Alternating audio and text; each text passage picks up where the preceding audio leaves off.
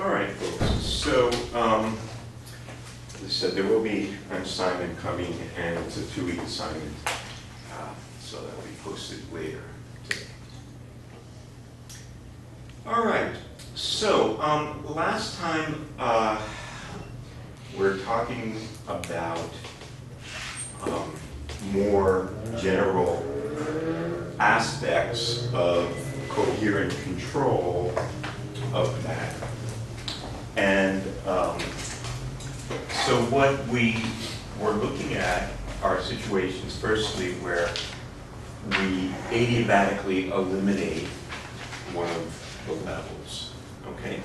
And when we looked at that in the case of the two-level atom, we end up with the one-level atom.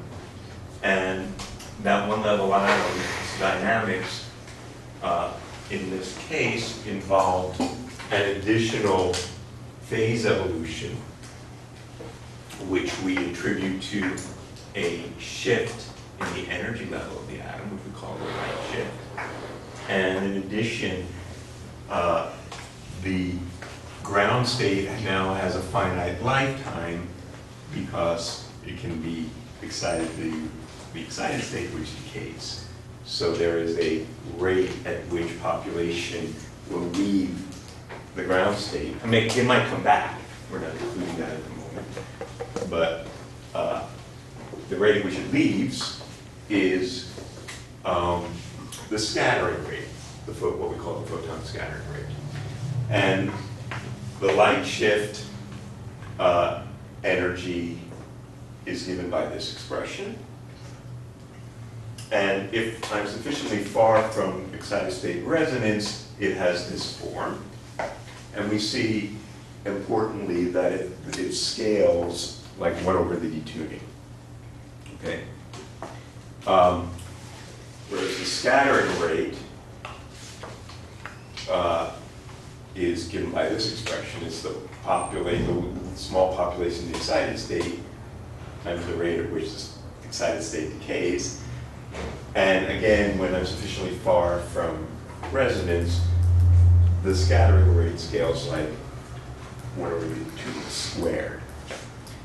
So loosely, well, not that loose, you can think about these like related to the dispersive and absorptive response, right? If I have a Lorentzian in the tails, it falls off like one over the detuning squares, whereas the dispersion falls off like one over the detuning, right? So they're intimately related. This is, what we talked about there was sort of what happens to the light. This is what happens to the atoms with respect to those different aspects of the dipole response. Okay? And so what that means is that if I'm sufficiently far detuned from resonance, if I have enough intensity, I can have a big light shift, but a small photon scattering rate. The scattering rate falls off much more rapidly than the light shift. Okay?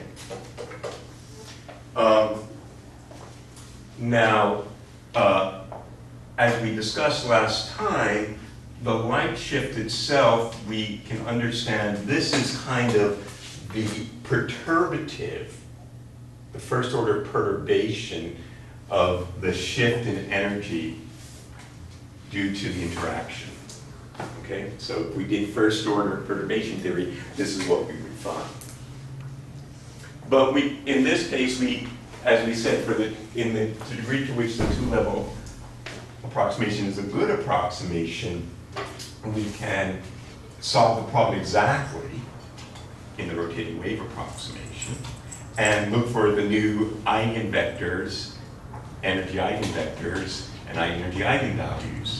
Those new energy eigenvectors we call the dress states, and the new energy eigenvalues are here. Okay?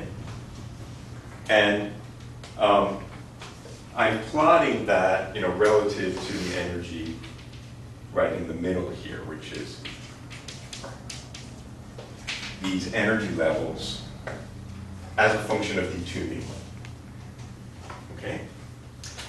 This structure is an important one, and whenever we're dealing with, if you want to see coherent coupling between two levels, this kind of what we call avoided crossing is a universal signature of the fact that I have some kind of coherent coupling between quantum states. So almost any experiment that tries to demonstrate coherent coupling will show you an avoided crossing. Okay? Um, because what, what is the avoided crossing? Well, what's happening here is we look at it relative to this expression. So let's just forget this identity part, because it's the same for both. Let's just look at this part of the Hamiltonian. Um, so if there was no interaction, so remember omega here is the Rabi frequency that's measuring the strength of the coupling to the laser.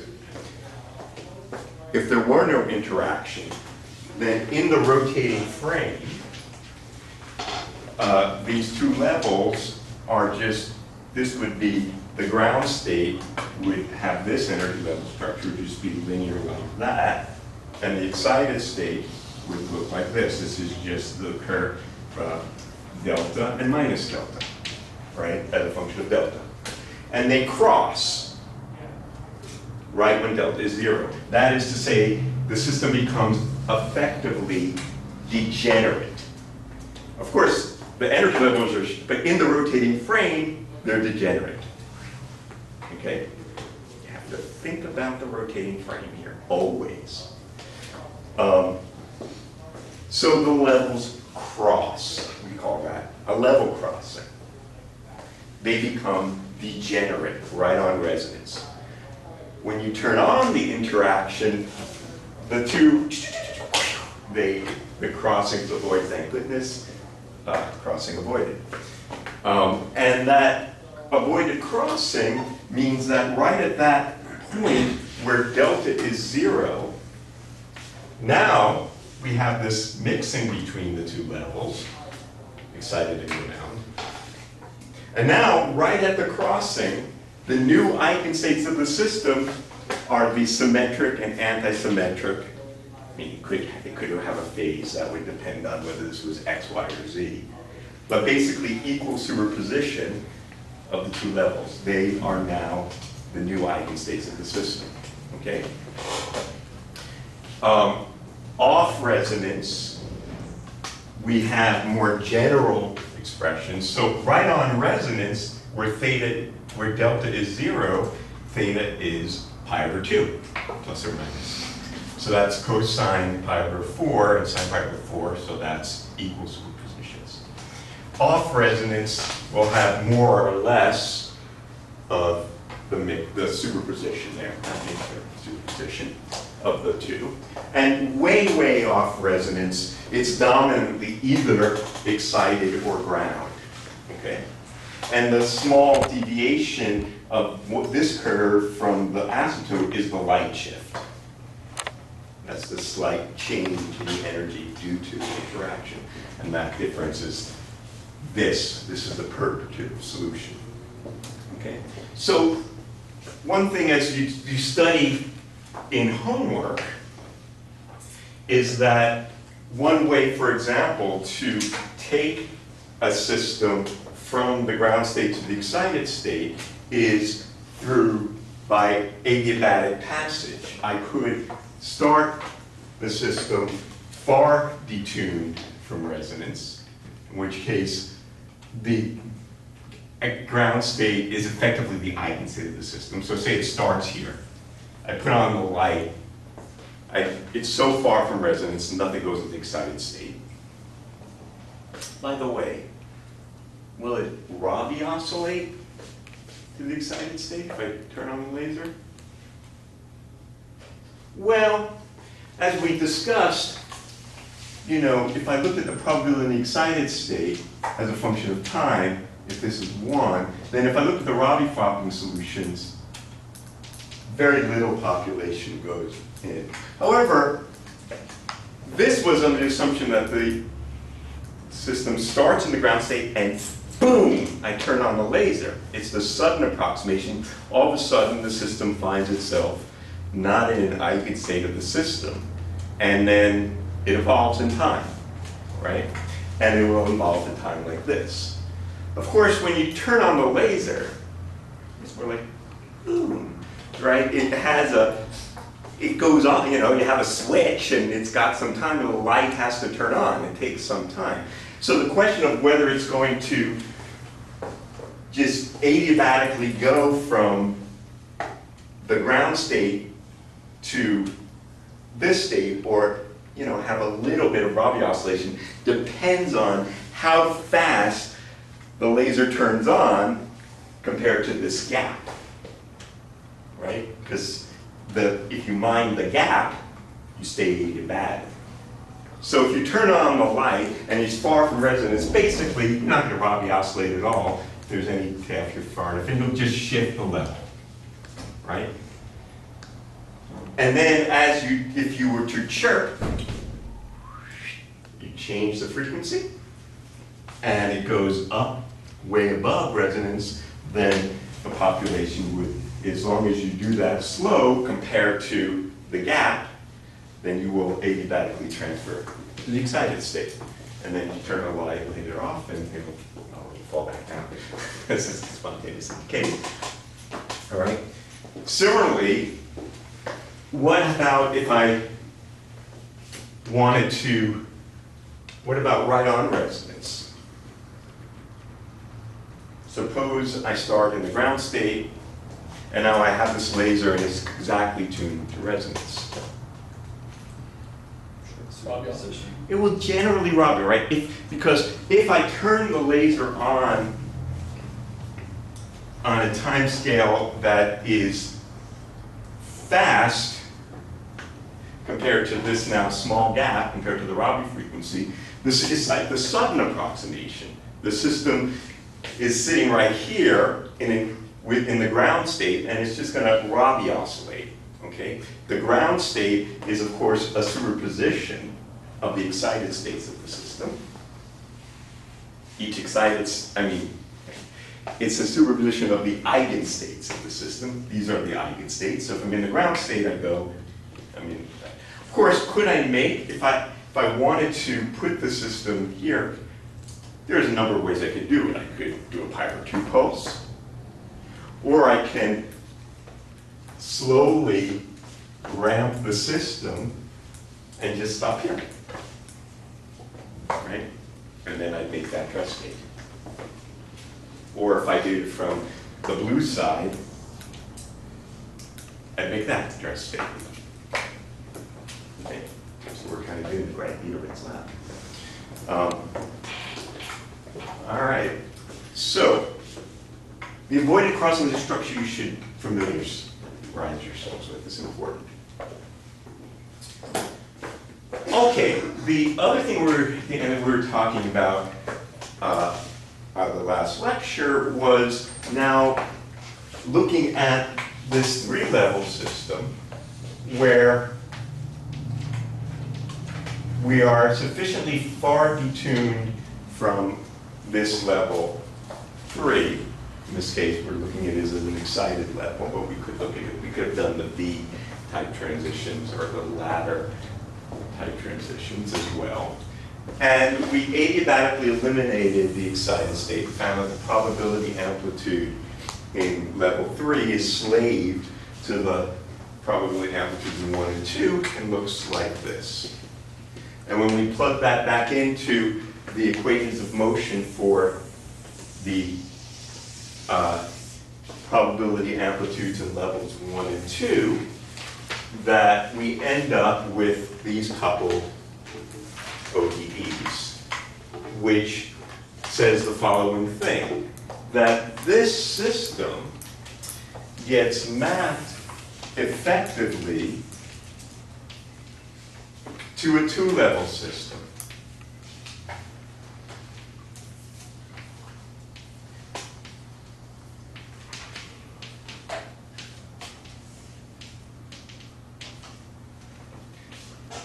Where there's an effective Rabi oscillation between these two, with a Rabi frequency that's determined by this expression, depends on the product of the Rabi frequencies associated with these two dipole allowed transitions and the detuning from resonance, okay, under the case where the detuning is big compared to gamma.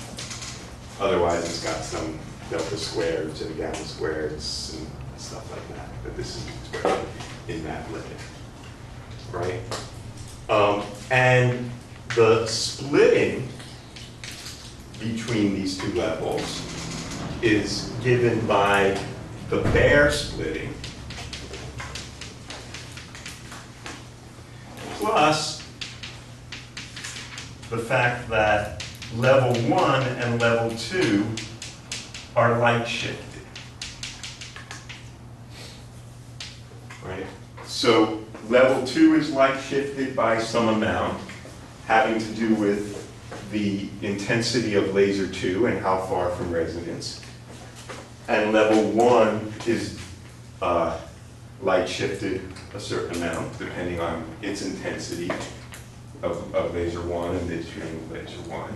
And there's an effective now difference between those, which is the bare splitting and then a little extra splitting generally due to the light shifts. Okay? So this problem now maps effectively to a two-level problem. Of course, level one and two, each, each of these have their own finite lifetimes, gamma one and gamma two, due to the fact that you can absorb and then spontaneously decay out of level three. So level one and level two have their own lifetimes, which are related to the scattering rates out of each of those levels, all right? And that's what this decay term is in here. And then in addition, there is an, a, a, an extra term here that is the extra uh, off-diagonal decay, which is given by this geometric mean of the scattering rates, basically. All right? So, what this tells us is that if I want to create an effective two-level coupling between two levels which are not dipole, electric dipole connected, they might be both electronic ground states. So they're very stable levels. They're not going to go anywhere. I can create coherence between them optically through this intermediate level. And this is what's known as a Raman transition. Okay.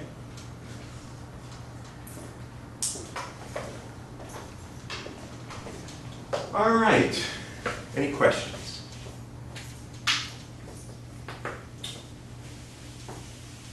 All right. So now there's some many there are many interesting aspects of these kinds of three-level transitions that um, are it's not just a matter of taking a three level transition and make it a making it a uh,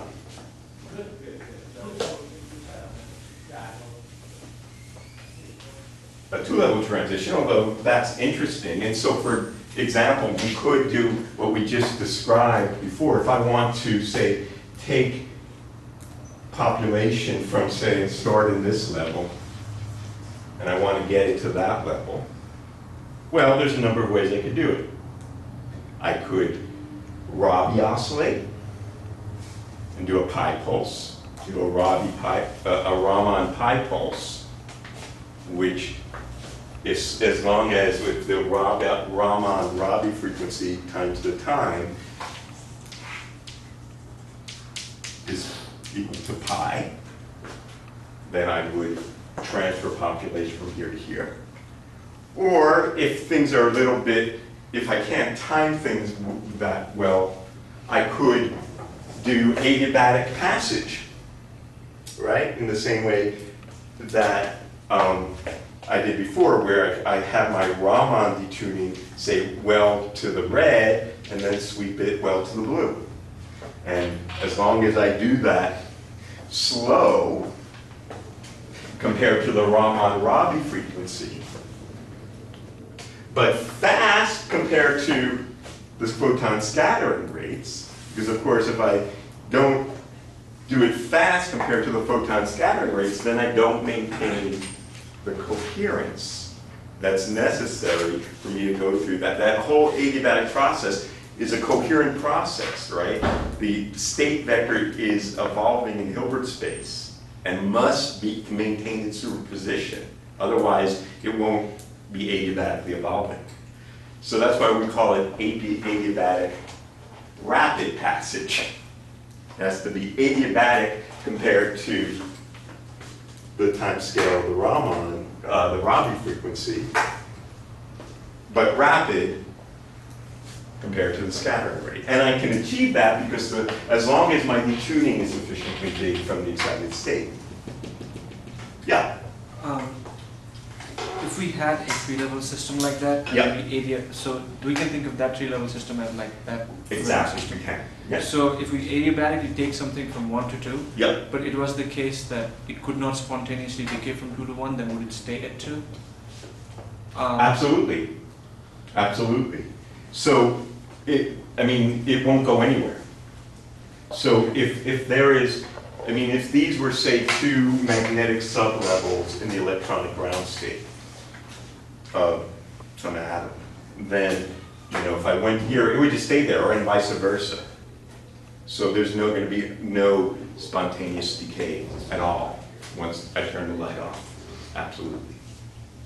Of course, you know, typically something else will happen, some other atom will come out of the vacuum and hit it and eventually knock it around, but that might take a minute, and that's a long time on the scale of atoms.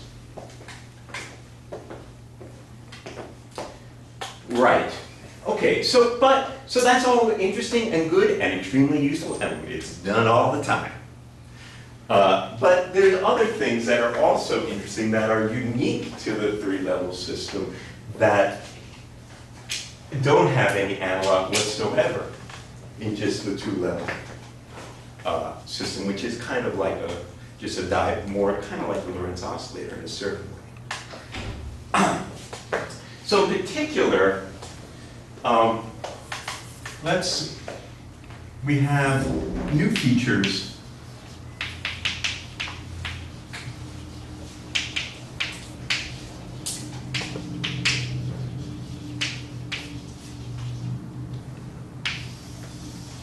So let's consider the, uh, let's look at the probability amplitude in level three after adiabatic elimination.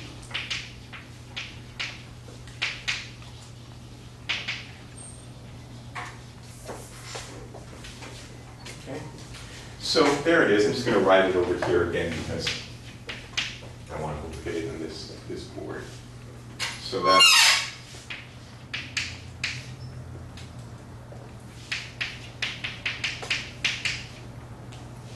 this was omega one, right?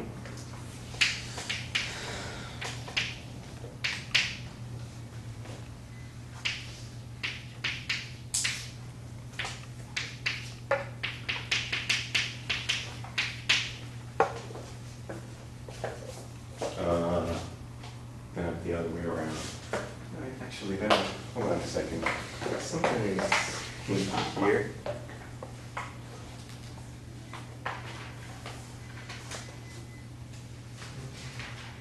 Yeah, no, it's, uh, yeah, okay, it's the other way around.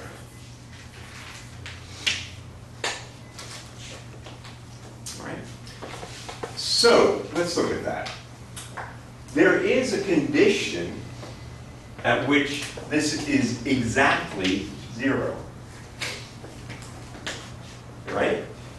That is the condition that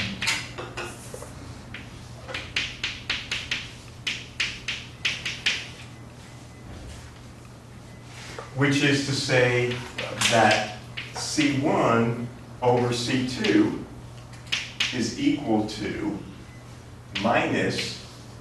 C2 is equal to minus the Rabi frequency two over the Rabi frequency one.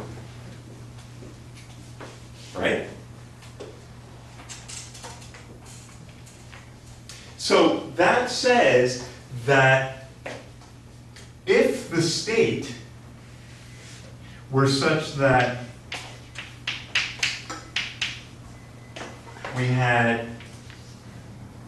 omega two times one minus omega one times two divided by the square root of omega one squared per omega two squared.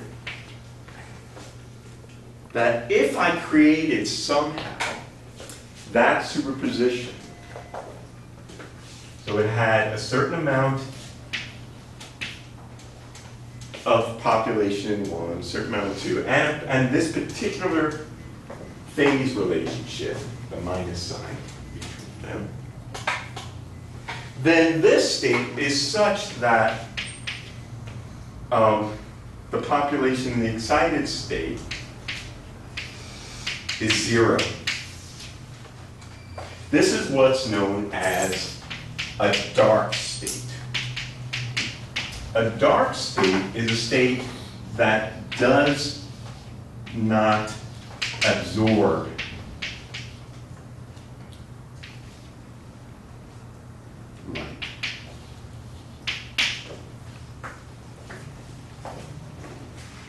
It is dark. What's going on? Why is there, why, why does this dark state exist? What's physically happening?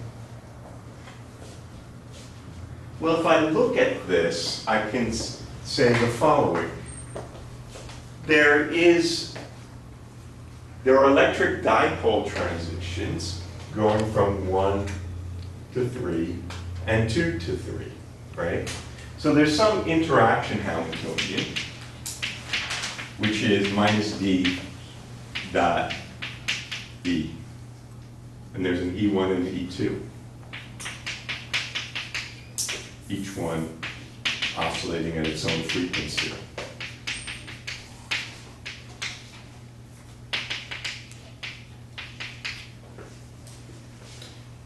But the dipole matrix element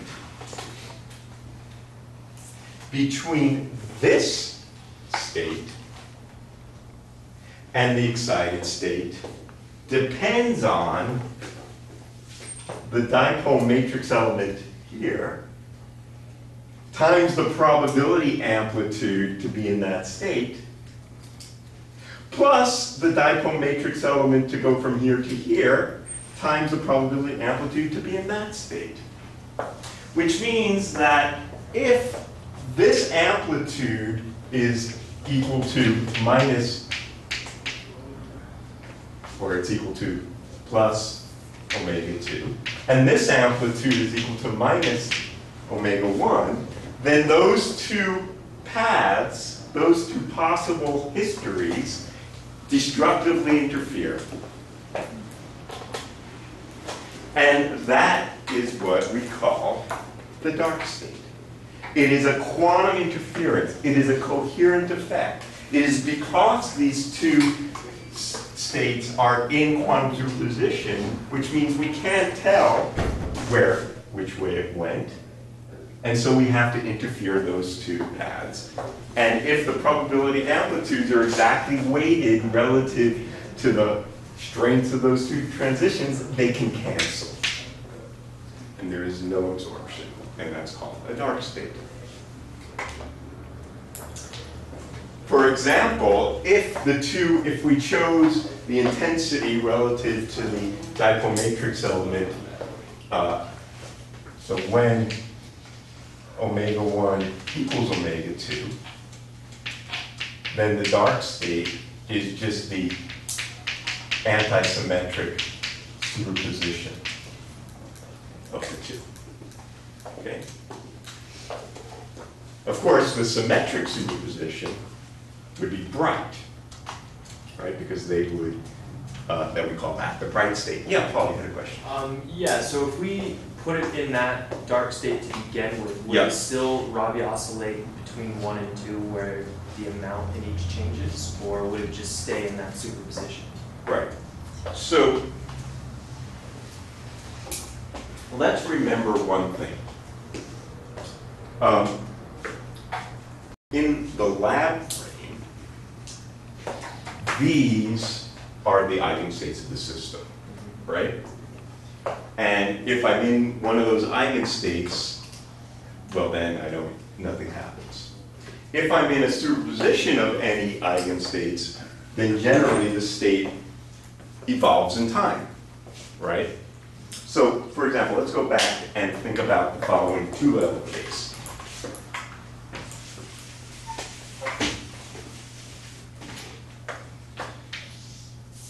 Here's my two-level atom.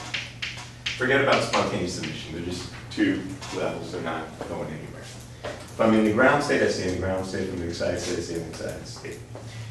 If I'm in any superposition of the two, well, it will evolve, right? But we talk about that evolution as a precession, depending relative to that, that is the free precession. And in our Bloch sphere picture, that was the following. If I'm in any superposition of excited and ground, I'm somewhere on the Bloch sphere. Now, of course, that's not an eigenstate, which means the Bloch vector evolves in time. How does it evolve? It precesses around the z-axis. But in the rotating frame, it's stationary. So, yes, if I start in that position, it will evolve. I wouldn't call it Rabi oscillating, because Rabi oscillation is about the uh, application of an external force, right? I just somehow, I did my, you know, I did my Raman, Rabi oscillation, I put it in that superposition, now I turned off the lasers. That state is not an eigenstate of the system. So it is precessing, but that's, in the rotating frame, it's stationary. So we have to always remember that there is a- always a clock running. And that clock is related to whatever the energy difference is in the system. And you better have a good clock in your coherent controller if you're gonna continue to coherently control it, so that you can keep track of how many ticks have happened. Yes?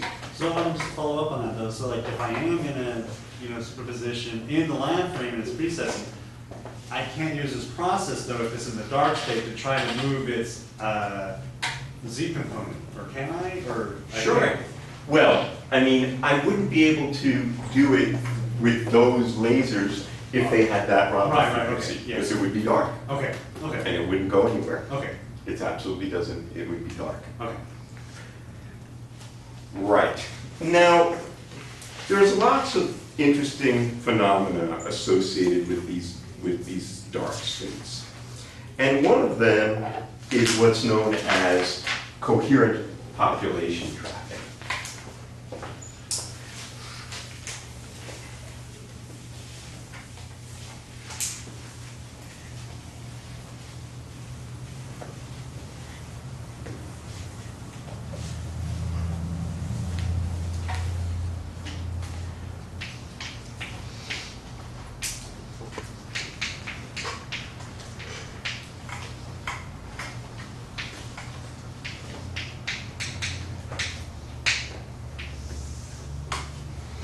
So, let's say we have the following situation. Let me try to remember where, where I went.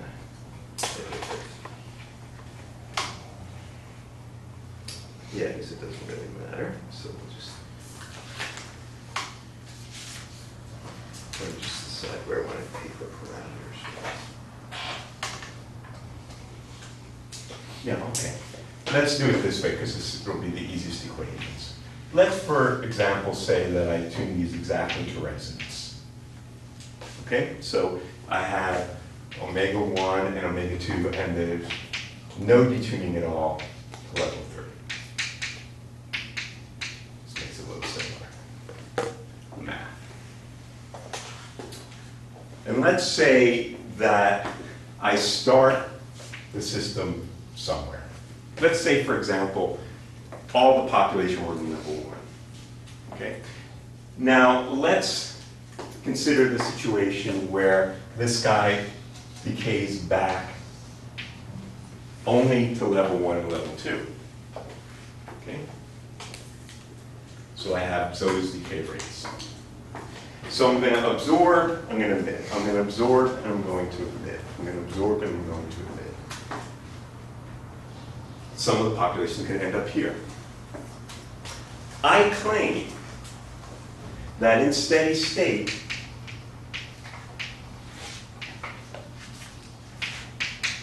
that this is the dark state.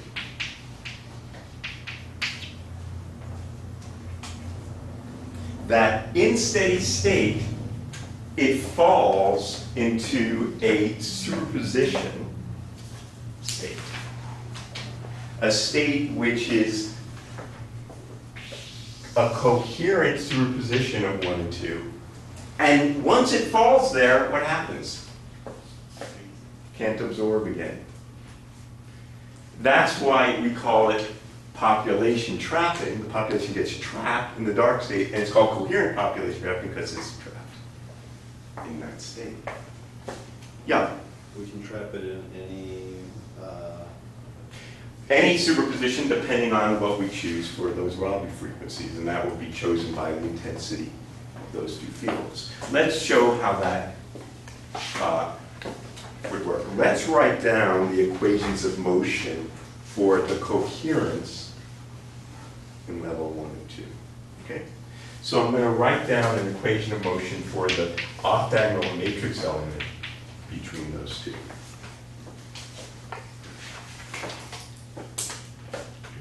So that, in our picture here, is C2 star,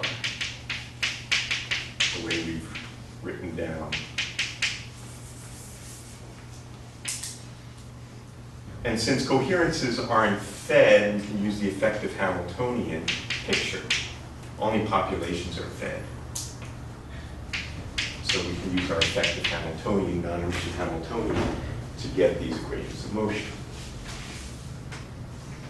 All right, so maybe we have to remind ourselves what these equations were. Uh, I guess I, I had them earlier, but put it all together here. This is, let's write it again. So C1 uh, dot was equal to minus I once we adiabatically eliminated. So here we're assuming that these are much, much smaller than gamma. They don't have to be, but it just makes my math easier. So I can adiabatically eliminate the excited state. right? So I'm assuming it, in, I could do all three levels, but I'm, I'm too lazy. So I'm just gonna assume that I'm not driving it very hard, so that very little population is in the excited state. Then we can adiabatically eliminate, as we did before, and we have these equations.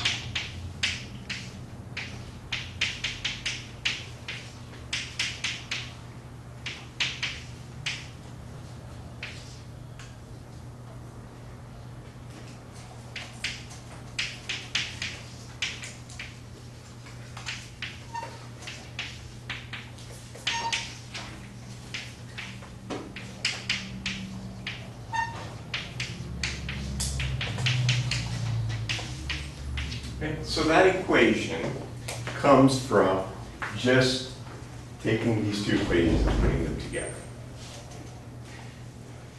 Okay, so, and this is equal to one, the total population. It's not going anywhere else. Okay. So, um, what happens to this coherence steady state? Well, let's look at the case again where I, just for simplicity, where this is right on resonance. Okay, so delta is zero. In that case, uh, the omega Raman is zero.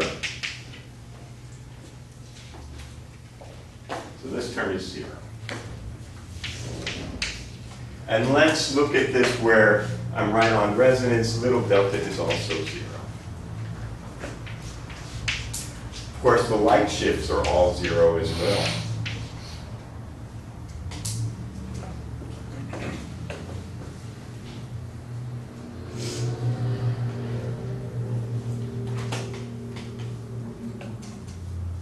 Yeah, that is right. So I, I left out a piece, I left out these guys, right? The, the, the case, so there's a minus gamma one plus gamma two over two omega two, so this is all zero.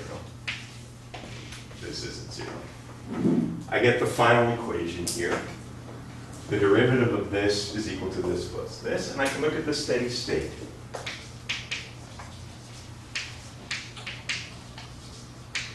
steady state solution is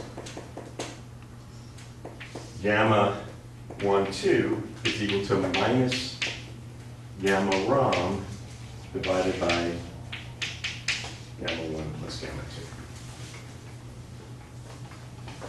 2.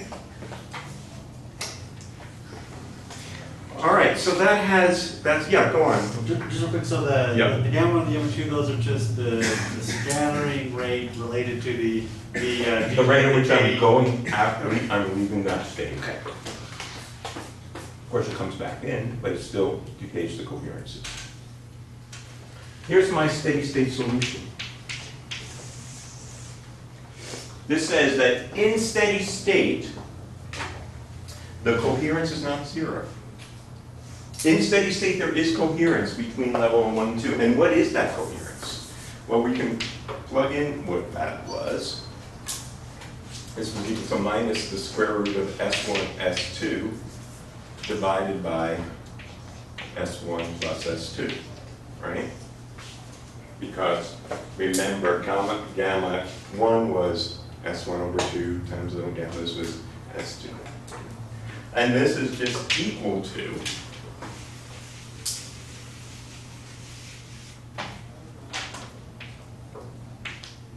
uh, related to the square root over omega 1, omega 2 over omega 1 squared plus omega 2 squared. Uh, squared. Or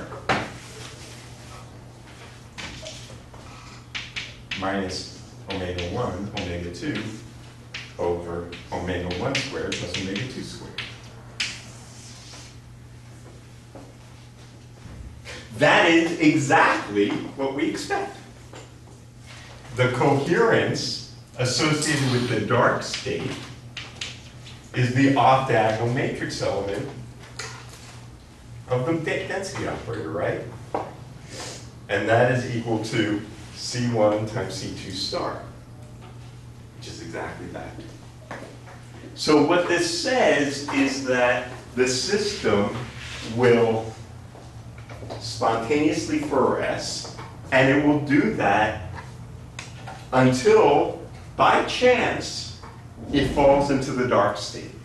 And once it falls into the dark state, it's trapped. It will stay there forever. This is, was used as one method of laser cooling back in the 1990s, where things were specially tuned so that the Doppler shift associated with the atoms was that the dark state was the state that wasn't moving. So if the atoms happened to fall into the dark state, they would be cold. Now, kind of hard, it's kind of, an, it's not a very efficient process, but it's a process that can get the atoms that happen to fall into those states extremely, extremely cold. And it was a process that was called velocity selective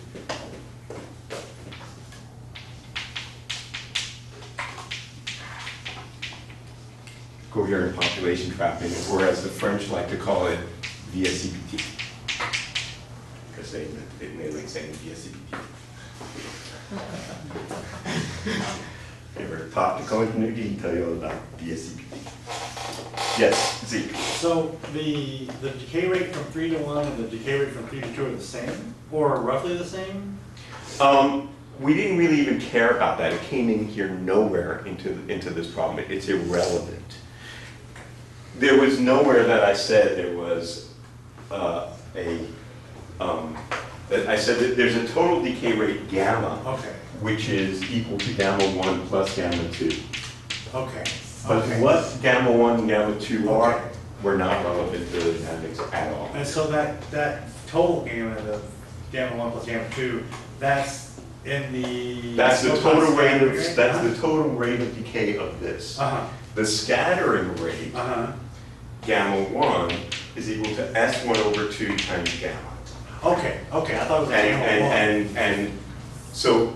Okay, gamma one, I mean, there is a big gamma one and a big gamma two, which are the rate of refeeding okay. into levels one and two.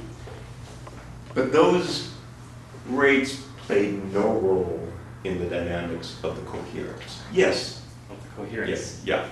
But So, I mean, they will play a role if I want to know how at the population, but the, but not in terms of the coherence. All right, so that's one pretty neat aspect. We're gonna come back to this in a moment about three-level systems. There's another really neat thing we can think about relative to uh, this kind of dark states, which is the following.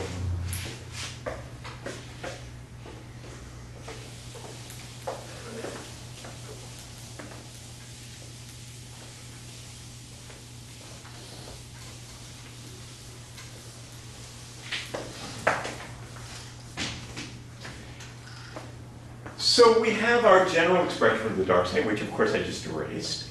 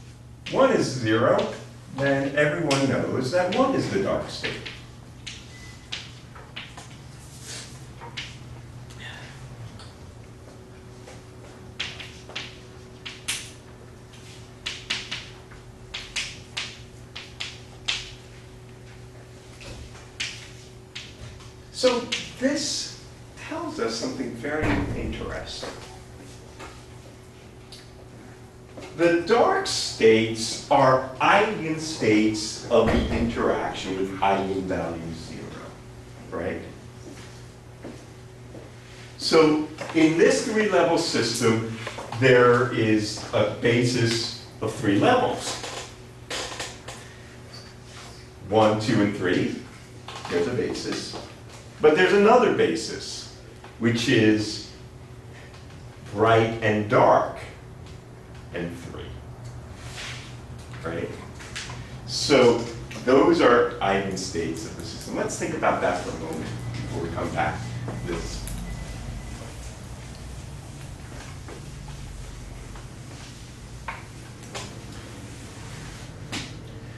Let's just, let's do things a little bit more general based on what we were talking about earlier. Let's say we have this be tuned, just to make it a little bit more interesting.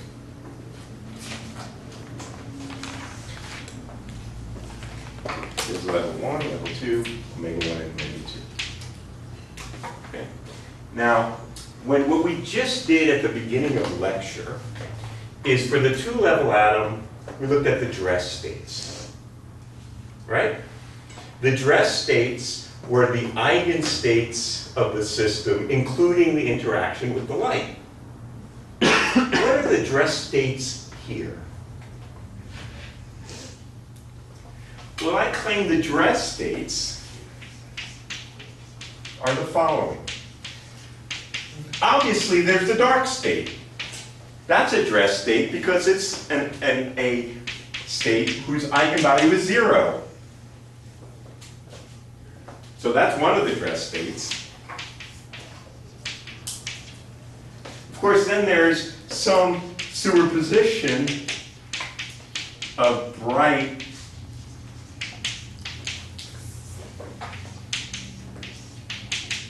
and three.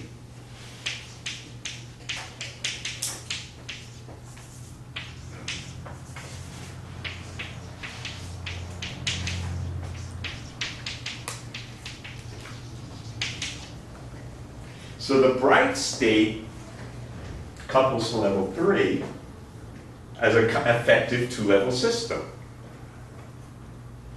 And those two levels get mixed together by the mixing angle, just like the two-level system that we had before, where the bright state, and if I'm sufficiently far off resonance, then, you know, essentially we have bright, three, and dark.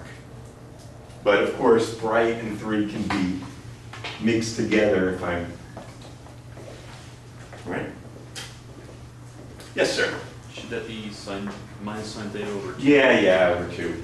No, there's too many threes floating around. Absolutely. Eight over three would be really weird. Okay, very good. So one of the lessons here is that the dark state is an eigenstate of the interaction, the total Hamiltonian, including interaction. Well, these certainly are. Now, here's something not every moron can see. Certainly I couldn't see it, maybe everyone, who knows? Um, Can I adiabatically, how would I adiabatically transfer from two to one by just changing the intensities, not the frequencies of laser one and two?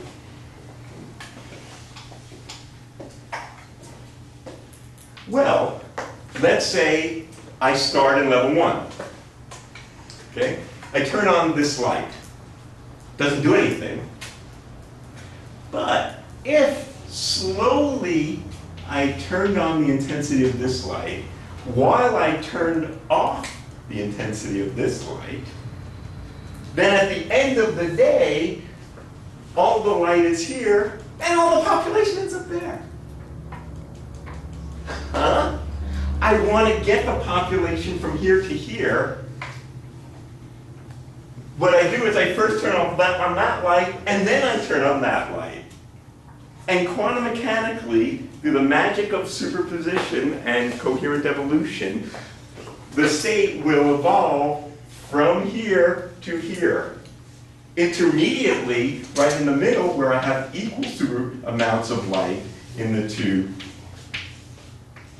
I will be in an equal superposition, right? If omega 1 equals omega 2, I will be in a 50-50 superposition, but with a minus sign in between them.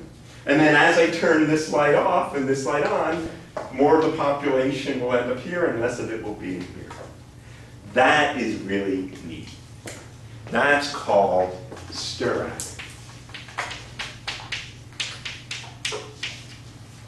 Which is stimulated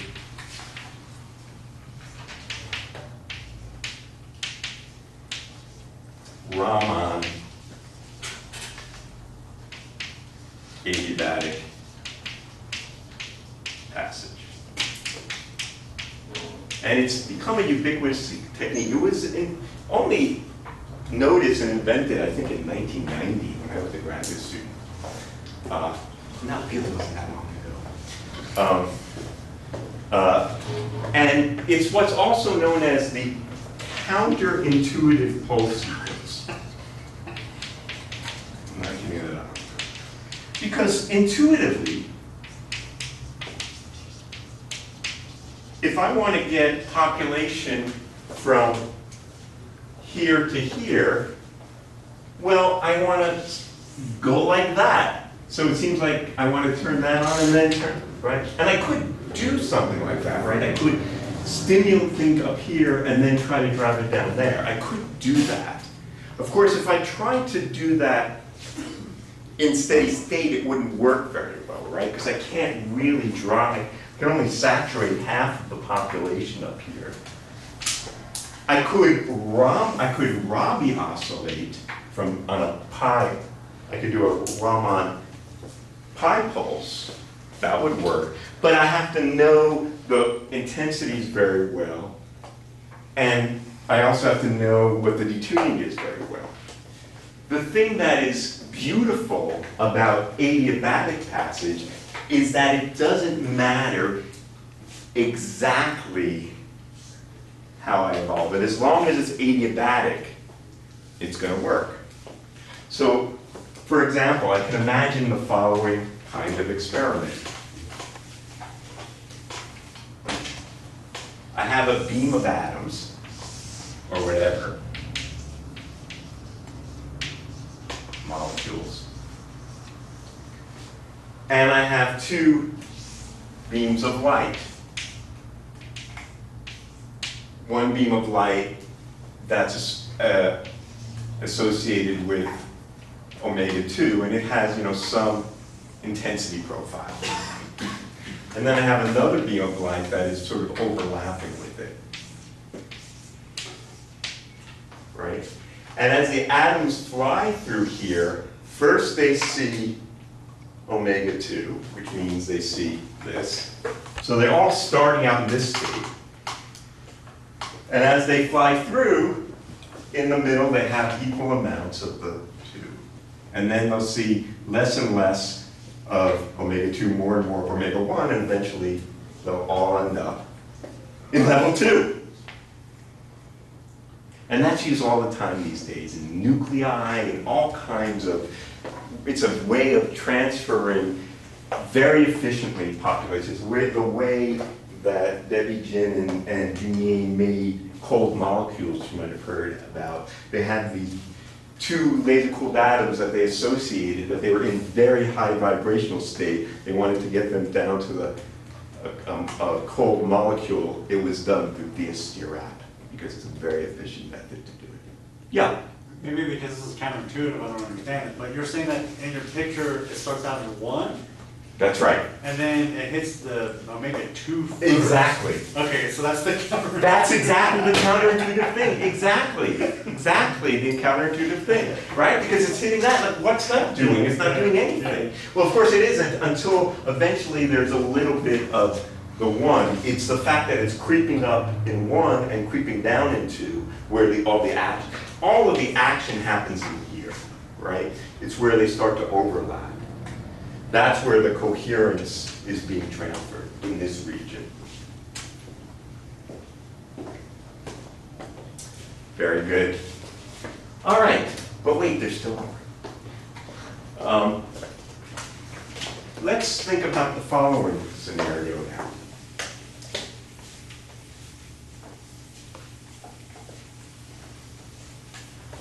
How would you know which one was the dark state, if it was one or two, to know which laser to put first. Well, it depends if you know where, so you have to know the structure of the system in which you're trying to transfer.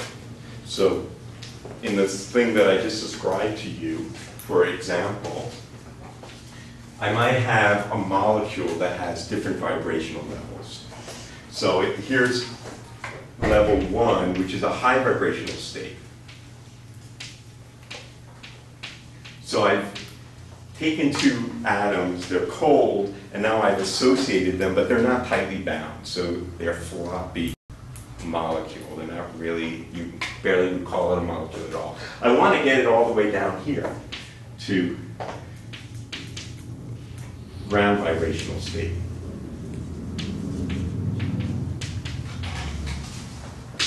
It's very tightly bound. So I prepared it. I know it's there, but I want to get it down there. So what I do is through adiabatic passage, first there's some excited state up here. Put on this as my omega 2, and then put on my omega 1, and I will put it here, counterintuitively. Right? Through the magic of quantum evolution. But if, if it- they're kind of floppy and barely associated, Yeah. what's that higher state? Is that where they're just not associated? Yeah, well, in that state, they might just be completely dissociated, but you don't actually ever have any population in here, right? It's a dark state. Never any population in there. Yeah, I know. But wait, it gets better. Well, maybe the same, I don't know. Okay. Let's consider the following scenario another important, very important new feature in my new world. So let's say I have level one, and I, we know that if there's some excited state, we call it three here, and if I were to scan the absorption and dispersion over this, I'd have my usual two-level, if- assuming this is weak, this is a probe, I'll say call this omega probe. As long as the intensity is sufficiently low compared to the saturation intensity, then we know that the system responds like a Lorentz oscillator, right? And if I were to look at the absorption of this as a function of the detuning, uh, I would see a Lorentzian, right? And if I looked at the dispersion, I would find, uh, you know, the usual kind of dispersive line shape first level system. Now, suppose I do the following. I take these two level, a level, there's a level, another level around two, which is dipole connected, and I dress the level three with level two with a strong coupling laser. So this is a strong field. I don't think about this perturbatively at all on, on this, okay? So level three is no longer just level three. It's now a dress level that involves the superposition of these. There are two dress states. There's one, if I'm right on resonance, then we know that the dress states are what for this state? Superposition of those. Yeah, with equal amplitudes. They're the symmetric and antisymmetric. One is two plus three and one is two minus three, right? So I can think about this system equivalently the following. There's level one, and then there is the two dress states, right? The two dress states are split. They're split, if this is right on resonance, what's the splitting between the dress states? Is there not any, or What's that? is there not any, if they're running? There, there is, Oh. because remember, that if there's not any, if you don't have the interaction, but then you put the interactions and the, and the degeneracy breaks, right? And the two levels split. So the splitting just be H bar times the coupling. Exactly. Yeah. So it's just this, in frequency units, it's that. They're split by that. Now, I'm, if I'm right on bare resonance, I'm right in the middle between the two. Right between the two dress states. What do you think the absorption rate is there?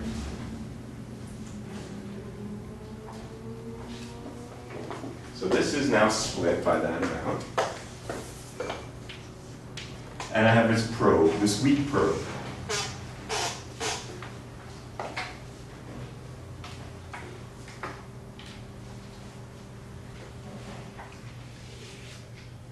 The answer is zero. It doesn't absorb at all. It is, if you were to dress this with this strong coupling laser and then put on the probe and look at it, it would be completely transmitting. It would be transparent to that light. That transparency is induced electromagnetically. Hence the name electromagnetically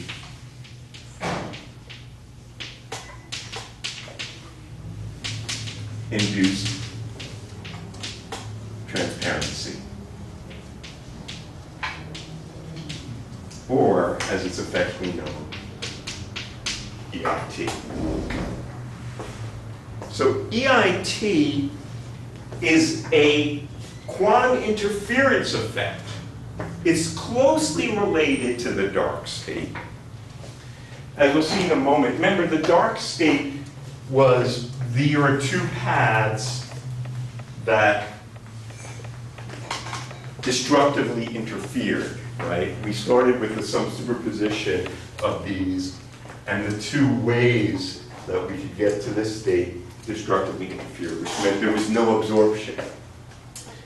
EIT is closely related, but it's not exactly the same thing because these are very, very unequal in intensity. So the two paths are little, not quite as clear. It's much cleaner, and you'll do this in your work, to think about this as there are two paths to absorption. One's above resonance and one's below resonance. And those two paths coherently, destructively interfere, such that no absorption happens. Okay? Um, so let's, there's, you're going to look at this problem in your homework, coming homework assignment in uh, a couple of different ways. One of the ways that we can look at is just to solve for the dipole response. So we can think about this as there's a, in the same way that we had the two-level system, and we looked at the induced dipole moment, and we saw what was the polarizability of that induced dipole as a function of detuning. We can do that here. We want to know what is the dipole response, which is related to this coherence. How much coherence do I generate as a function of the detuning of this level for a strong coupling? Okay. So that's done in the notes. I don't want to go through, you know, the algebra is boring. Uh, But I can just sketch it out for you for a moment, just to get to the, the main points. So if I do the, write out the master equation for this, again, we could do the, we could always, always write out the evolution of the coherences just using the non-Hermitian effective Hamiltonian, because there's no feeding of coherences by uh, the spontaneous terms. It's only in this, in our problems. I mean, there can be, but the problems we're talking about, these are distinguishable events, so we don't feed the coherences. So this is equal to the following. I delta minus gamma over two. Three, one, minus I, the probe rate, population difference between one and three. And then we have this coupling term, which depends on the coherence between one and two. So this is the new piece. If I just had the two-level atom, where these were my two levels, then this would be the usual master equation that would involve how the coherences were driven by the population difference. Something like the U and V components coupled to the W component of the Bloch vector. I have this additional term now because it's this three-level atom, which wasn't there before. Um, Rho two one evolved as such.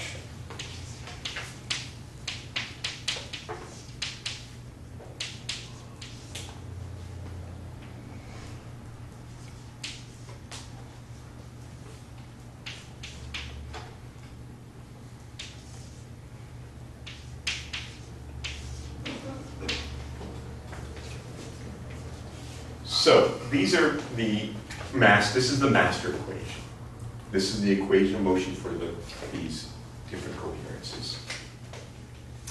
Now, we want to look at this in the case where, where our coupling laser is very, very strong compared to the probe. Okay? That's, the- that's the case, that's why this is called coupling laser. This is a weak probe, so that there's only linear response with respect to the probe, but nonlinear response with respect to the coupling laser.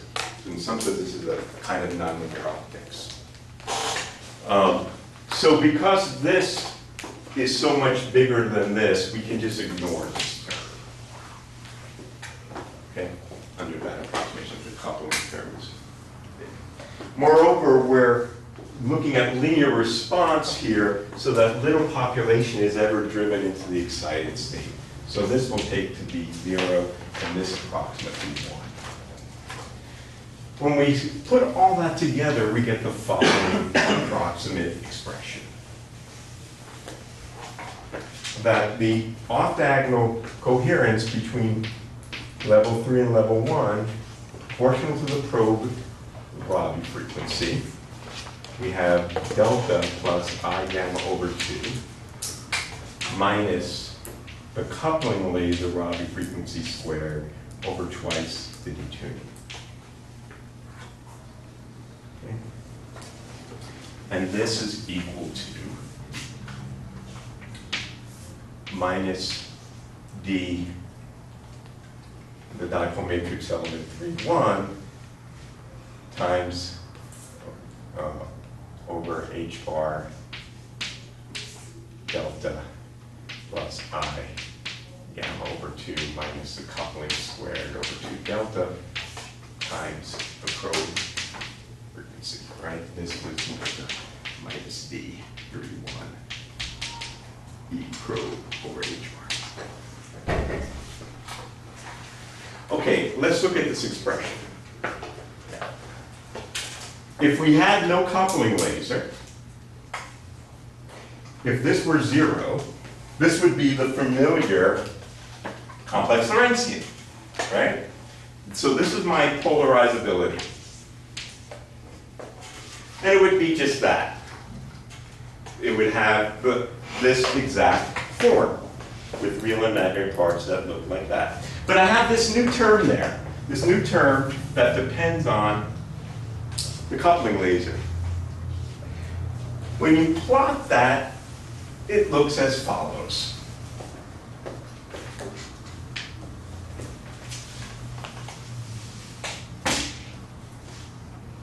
As a function of the detuning, the imaginary part looks like this. Well, it's single value, but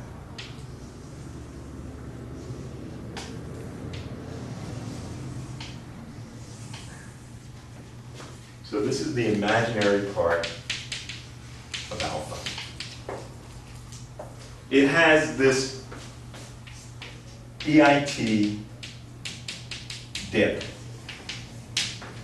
There's a window, this is, I don't know if you can see what the heck I drew. It's supposed to go to zero.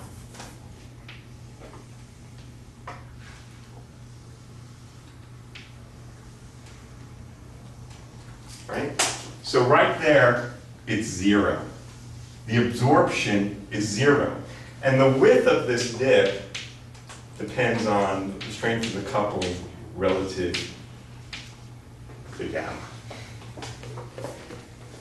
Right on resonance, where previously I would have had the most absorption, I get none at all. And that's due to the interference between the two possible paths, because this is no longer one state, there's a, there's this dressing the splitting, these two dress states, and they interfere with one another. What about the real part of the polarizability? Well, it looks really weird. So whereas before it looked like this, now, oh gosh, I'm going to try this.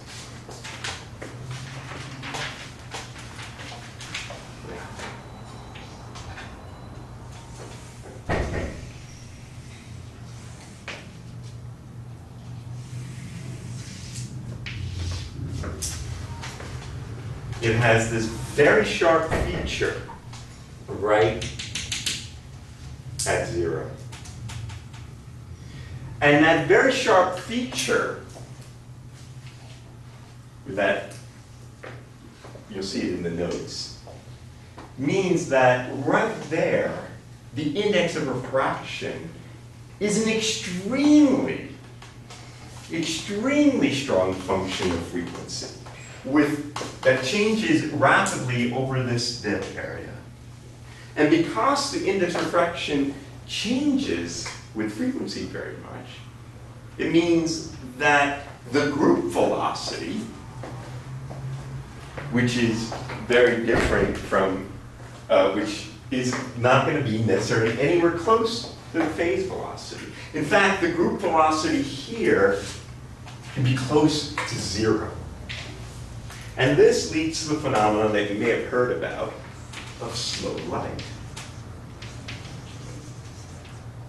So back in 1999, there was an experiment done in Harvard by Lena Powell, who slowed a pulse of light to move famously at the speed of a bicycle, about um, 17 miles an hour. Um, and it was, of course, it had to be extremely narrow band pulse, because it's only within this narrow band that you have that.